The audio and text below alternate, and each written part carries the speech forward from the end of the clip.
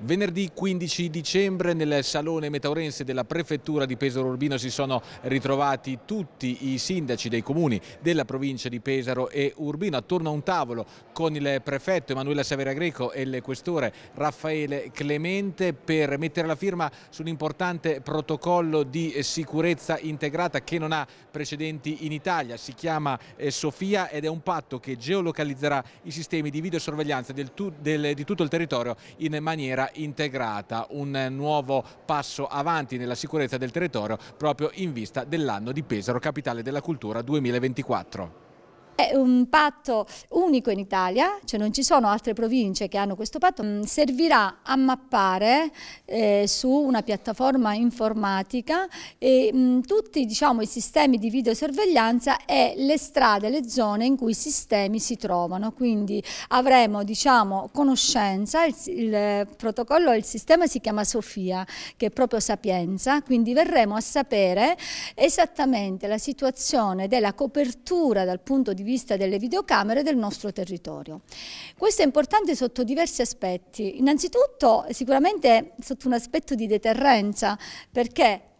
avendo diciamo, conoscenza immediata dell'esistenza delle, delle, telecamere su quelle data via, data via, è chiaro che l'autore di un reato sarà immediatamente identificato dalle forze di polizia in quanto potranno da subito risalire al gestore che ha la proprietà dell'impianto di telecamere. Quindi eh, eh, conoscendo il gestore e eh, intervenendo nell'immediatezza potranno diciamo, acquisire poi successivamente le immagini eh, diciamo, importanti, rilevanti. Quindi per adesso si mappano i sistemi, non si ha un'acquisizione dell'immagine su questa piattaforma, no, si avrà l'acquisizione soltanto della localizzazione degli impianti e dei gestori, eh, dati che saranno saranno a conoscenza delle forze di polizia per intervenire poi nel momento diciamo, della commissione di un eventuale reato. È un sistema però che sarà presto allargato anche ai privati,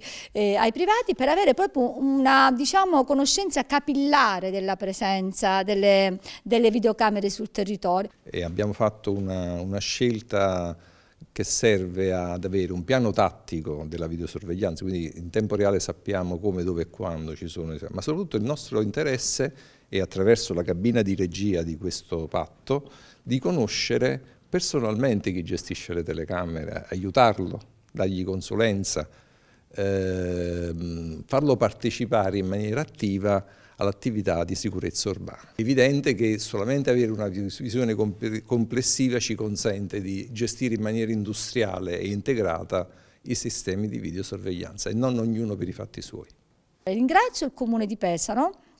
perché il Comune di Pesaro ha messo a disposizione questa piattaforma informatica diciamo molto potente, perché ovviamente immaginate la quantità di dati che vanno ehm, a diciamo, essere immessi in questa piattaforma informatica, quindi ringrazio il sindaco Matteo Ricci, ma consentitemi un ringraziamento particolare a tutti i sindaci della provincia, perché hanno compreso l'utilità di questo strumento, cioè hanno immediatamente capito che è uno strumento che va ad incidere proprio sulla sicurezza anche anche percepita dai loro, dai loro cittadini. Tutte le statistiche dimostrano che Pesaro, la provincia di Pesaro Urbino, è una delle realtà in questo momento più sicure in Italia. Questo però non ci deve far abbassare la guardia perché abbiamo visto che i fenomeni di criminalità organizzata non hanno più confini, anche il nostro territorio è stato colpito eh, negli anni scorsi, abbiamo un problema sicuramente legato al traffico di droga e in generale al mercato degli stupefacenti e comunque sia è una realtà che costantemente vede anche furti, furti negli appartamenti, fatti spesso e volentieri da bande predatorie, quindi bisogna tenere la guardia molto alta